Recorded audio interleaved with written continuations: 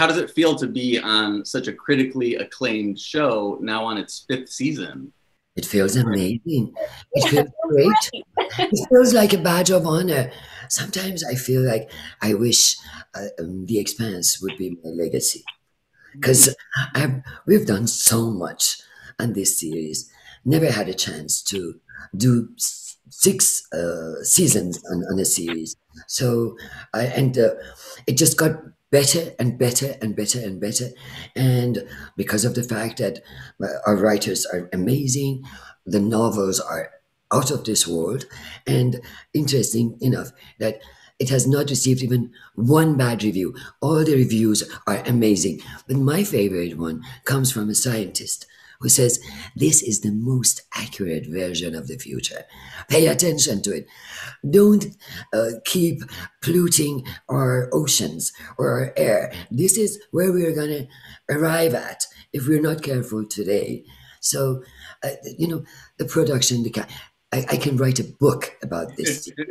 and I have worked 48 years and I have not seen anything like this where everything is good, everybody is nice. Production, crew, cast.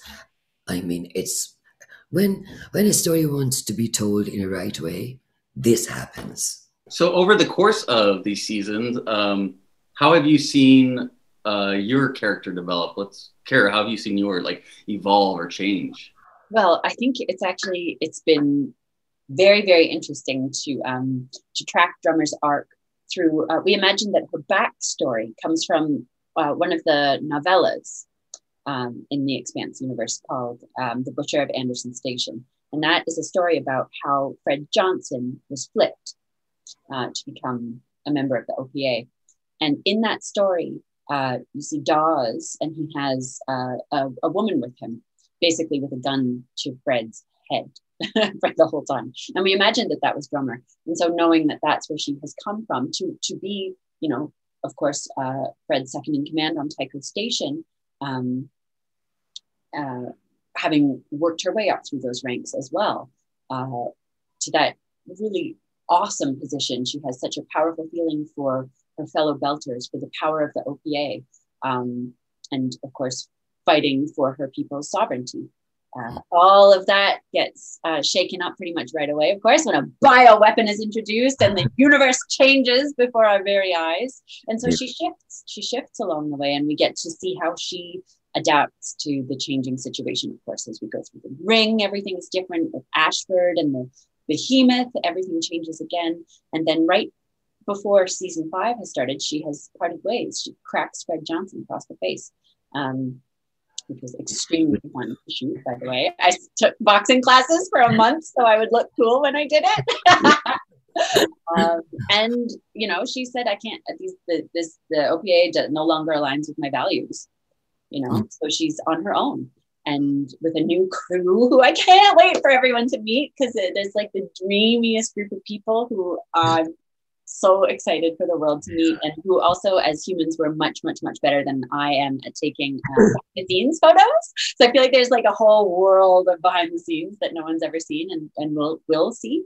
Mm. um, and i think for the first maybe 30 seconds of season five drummer is happy. Of course all that is uh, ripped away from her moments in. but yeah, that's her. That's been that's her. Terry, there is no other way but evolve in this. That's it. Big vast world. It's interesting. Every time our director um, calls for a uh, cut and wants to repeat the scene, usually on the third time, the director will come in and say, "I'm terribly sorry, but there was a technical." And I, I keep telling them there is no need to apologize because we can only get better. If one is not bigoted and would understand that one has made a mistake, then obviously the next time one tries, we'll do a better job. We can only get better. So there is no way but evolve, especially for people, for creative people who want, who see the future and wants to take a part in it, in shaping it.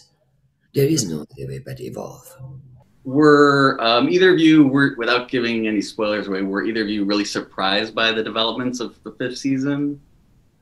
Did anything kind of shock you maybe? I had read the book.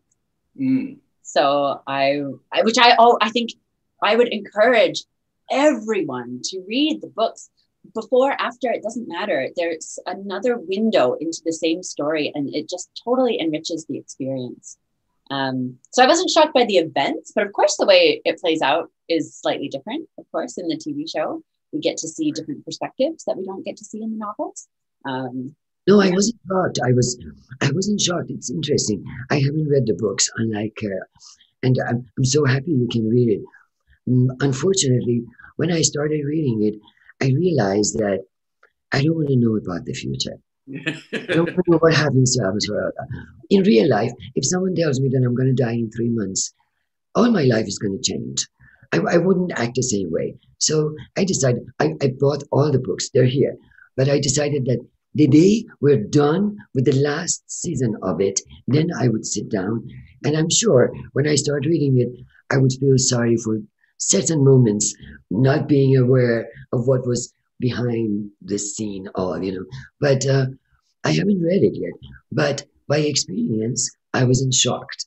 Avasarala wasn't shocked. She was expecting this one way or another. She's always afraid of the predators, those who want to, uh, you know, take uh, Earth resources and use Earth as, as their you know headquarters. She's always afraid of them, but uh, that's why I, I wasn't thoroughly shocked. I'm waiting for the next season. See if I see if they can really make me feel shocked.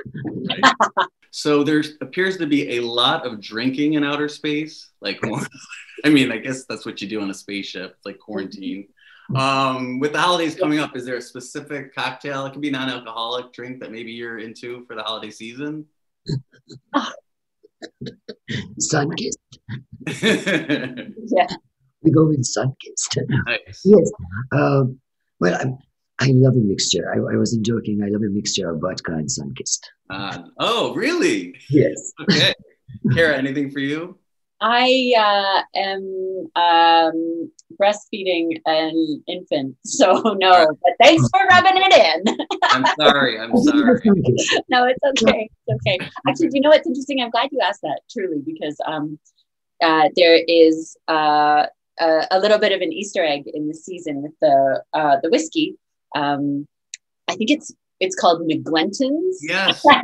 and Glenton is one of the uh, incredible writers on our show. So that is a little shout out to him.